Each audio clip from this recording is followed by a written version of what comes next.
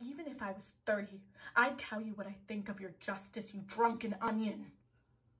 How dare you talk to me like the cracked Isaiah on the church window? As if you were somebody. For you weren't born into this. You weren't born to rap your own mother on the knuckles if you stole a little bowl of salt someplace. Aren't you ashamed of yourself when you see how I tremble before you? You've made yourself a servant so they couldn't take the houses from you. Houses they had stolen.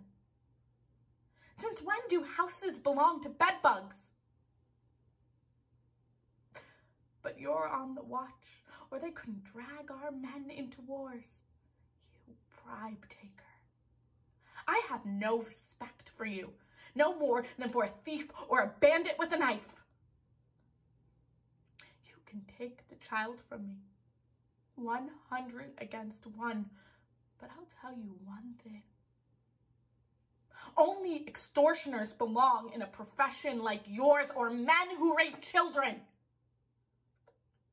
Yes, let them sit in judgment of their fellow creatures. It is worse than to be hung from the gallows.